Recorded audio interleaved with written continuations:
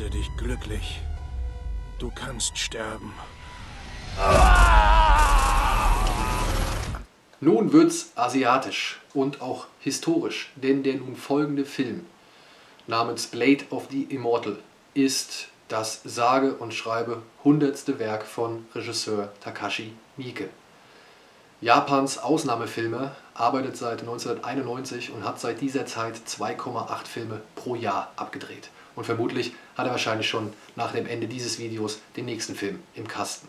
In diesem Film geht es um einen Samurai namens Manji, Manji hat seinen Lord und dessen Leibgarde umgebracht und Manji musste mit ansehen, wie seine kleine Schwester umgebracht wurde von ein paar Kopfgeldjägern.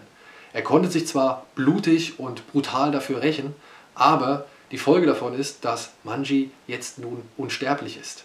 Eine 800 Jahre alte Geisterfrau hat ihm so magische Würmer in den Körper eingepflanzt und die sorgen dafür, dass Manji sich immer wieder zusammenflickt oder zusammensetzt, wenn er denn mal zerstückelt wurde oder aufgeschnitten wurde. Naja, und 50 Jahre nach diesem Vorfall kommt nun ein junges Mädchen namens Rin zu Manji und bittet ihn dabei zu helfen, ihre Familie zu rächen. Denn die wurde auch von einem fiesen Schwertkämpfer namens Anotsu umgebracht und ja, ihr gelüstet es nun nach Vergeltung. Und Manji willigt zunächst ein, weil ihn Rin zu sehr an seine eigene kleine Schwester erinnert, die er oder der er gerne ins Jenseits folgen würde. Aber naja, Manji hat nicht damit gerechnet, was er für einen Krieg gegen diesen Anotsu heraufbeschwört. Helfen Sie mir, Rache für meinen Vater zu üben.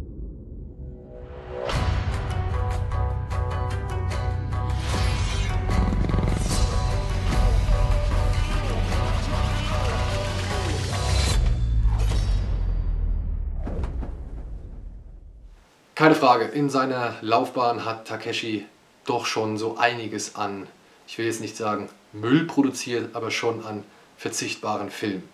Und Gott sei Dank gehört Blade of the Immortal nicht dazu. Ich bin wirklich riesengroßer Takashi Miike-Fan. Ja? Also ich habe echt diverse Streifen gesehen und ich liebe sie alle. Ich liebe Fudo, Audition, Visitor Q, Itchy, Lesson of the Evil, 13 Assassins, Gozu, ja, alles großartige Filme, die ich sehr in mein Herz geschlossen habe. Aber es gibt halt auch wirklich Schund, wie zum Beispiel Zebraman oder Itzu oder dieser Full Metal Yakuza. Die habe ich auch alle gesehen und naja, da weiß ich halt eben, oder Last Call, oh Gott, hör mal auf. Ja, und ich weiß halt auch, was der Mann für Schrott produzieren kann. Naja, aber hier in Blade of the Immortal, da bewegt er sich in einem Umfeld, das hatte er schon mit 13 Assassins und mit Harakiri erfolgreich bearbeitet. Und ich will jetzt nicht sagen, dass er das Martial Arts Genre in neue Höhen schraubt, aber er erreicht zumindest die Klasse, die er mit den beiden vorher genannten Filmen erreicht hat oder vorgelegt hat. Und deswegen ist es schön, es gibt hier wirklich, ja, es ist einfach schön, dass das sein hundertster Film ist. Denn es gibt ein paar wirklich hervorragend choreografierte Kampfszenen. Es gibt eine Geschichte, die auch Spannung generiert, aber sich nicht zu schade dafür ist, gefühlvolle Momente oder auch nachdenkliche Momente zu präsentieren. Und ja, die sich schon doch ein wenig Zeit nimmt, um gewisse Motivationen und Emotionen zu ergründen, zu erklären und zu zeigen. Gerade von Manji und von Rin. Und deswegen erhalten die beide eine wunderschöne Charakterzeichnung und deswegen folgt man den beiden auch gerne bei ihrem 140 Minuten langen Abenteuer. Ja. Es gibt aber halt auch Phasen, ne, da wirkt das alles ein bisschen schwerfällig, möchte ich jetzt mal sagen. Gerade so nach dem starken Anfang dann dauert es schon seine Zeit, bis es losgeht. Aber bitte behaltet die Geduld und das Sitzfleisch, denn dieser Film mündet in einem Showdown, der macht auch wirklich 13 Assassins Konkurrenz. Ja, der ist richtig brutal, der hat einen richtig hohen Bodycount und der hat ein paar wirklich, wie bereits schon erwähnt, hervorragend choreografierte Schwertkämpfe zu bieten.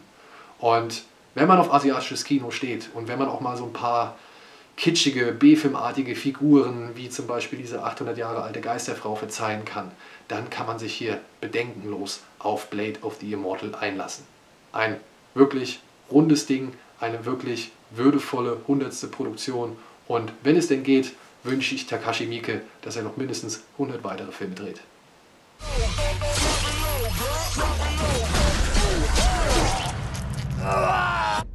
Verzeih mir, ich hab draufgeblutet.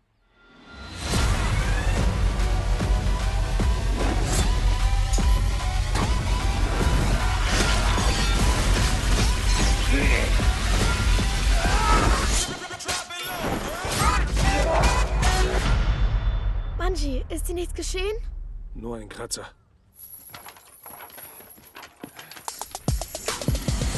Wie immer zum Schluss ein paar Worte zur Technik, also zur Blu-ray von Blade of the Immortal an sich.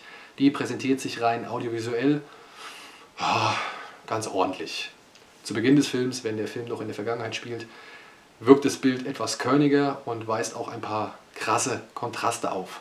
Das ändert sich aber, wenn der Film dann 50 Jahre in die Zukunft springt und dann überzeugt er durch eine durchgehend gute und hohe Schärfe. Die ist teilweise sogar so hoch, dass man in den Close-ups einzelne Make-up-Schichten erkennen kann.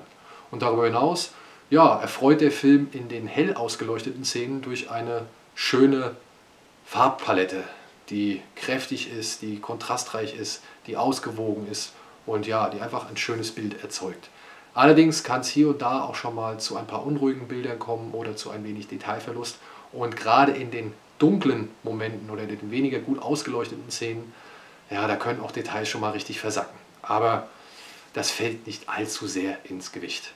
Was dagegen etwas betrüblicher stimmt, ist die deutsche HDMA 5.1 Tonspur, denn die ist doch recht frontlastig. Selbst in den zahlreichen Action-Szenen spielt sich das meiste Geschehen nur auf den Frontlautsprechern ab.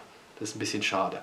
Aber hier und da verirrt sich dann doch mal so ein bisschen Soundtrack, so ein bisschen Score und das ein oder andere Schwerterklirren auf die hinteren Boxen und dann kann man schon wieder zufrieden sein, beziehungsweise kann man sich freuen. Und ansonsten ist das alles hier klar verständlich und auch doch, obwohl es nur von vorne kommt, mit einigem Druck versehen. Dementsprechend kann man hier ein Auge zudrücken. Wo man kein Auge zudrücken kann, ist tatsächlich beim Bonusmaterial, denn es gibt kein Bonusmaterial. Es gibt lediglich ein paar Trailer und das war's. Und das ist wirklich schade, denn wenn man Fan von Takashi Miike ist, dann und ja, und auch ein paar Extras haben möchte, dann muss man hier wirklich wahrscheinlich zum Mediabook oder zum Steelbook greifen und das kostet dann wieder etwas mehr Geld. Und an, in Anbetracht der Tatsache, dass es sich hier um den hundertsten Film eines Regisseurs handelt, ist das schon ein bisschen, ja, betrüblich. Nee, ist schon ein bisschen traurig. Aber ansonsten, toller Film, toller Regisseur.